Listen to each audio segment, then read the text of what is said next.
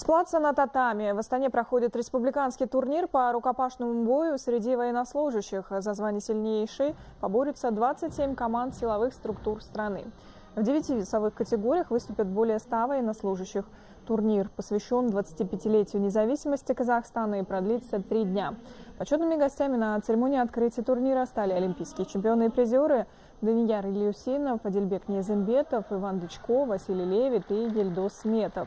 Именно победители турнира в личном и общекомандном зачете станут известны 17 сентября.